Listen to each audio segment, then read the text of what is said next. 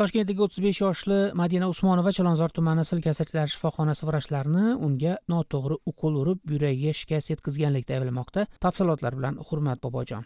Usmonovaning ozodlik bilan suhbatda iddao qilishicha u sistit kasalligi bilan sil kasalliklari shifoxonasiga borgan. Vrachlar unga piraginel dori vositasini noto'g'ri inyeksiya qilishgan. Manga назначение yozib berdi. Mana shunaqa ukollar mana shunaqa dorilarni ichki mana shunaqa ukol olib kelgin dedi. Keyin man u ukolini topolmadim tribunalni.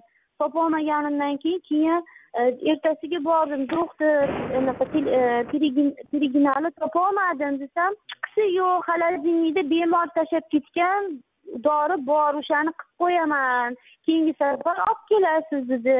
Keyin o'sha ukolini hamshirasiga buyurdida srog o'tgan o'sha muzdekligicha holatda manga qo'l qivordi qivordi mani bir yarimta qilib qo'ydida pochkamni ishdan chiqarib qo'ydi. Haligacha og'riydi ozodlik toshkentlik bemor shikoyati yuzasidan chilonzor tumani sil kasalliklari shifoxonasiga bog'landi.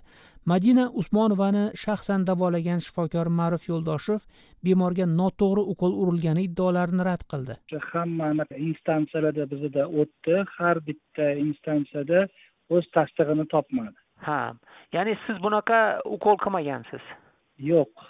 Buni har bitta anaqasini olib ko'rib har bitta e, e, etaplarida kelib tekshirishdi ko'rishdi. Hech qanaqa har bitta anaqa xulosasi ekspert свободный ekspertdan yollashdi ham qilishdi nima chiqmadi? Tasdig'ini topmadi. Endi marufjon aka nimaga bunaqa bo'lib qolishi mumkin endi? Buni pochkasi shunaqa man beshinchi beshinchi nimasimanda uni hisobi bo'yicha beshinchi doktorman что shu narsaga tushgan.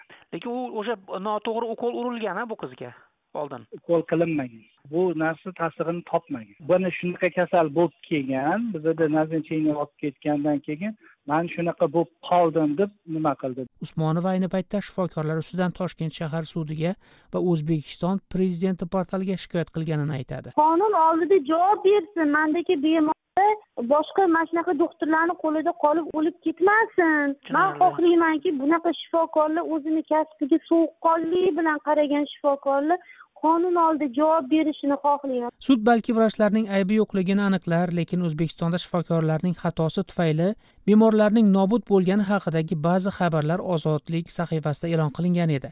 Shu yil fevral oyida toshkentlik ona shifokorlarning xatosi tufayli olti oylik farzandi nobud bo'lgani haqida ozodlikka gapirib bergan edi. Undan oldin esa toshkentda dorixona xodimlari bemor qizlarga noto'g'ri dori vositasi berganliklari sabab uch nafar voyaga yetmagan qiz hayotdan ko'z yumgan edi.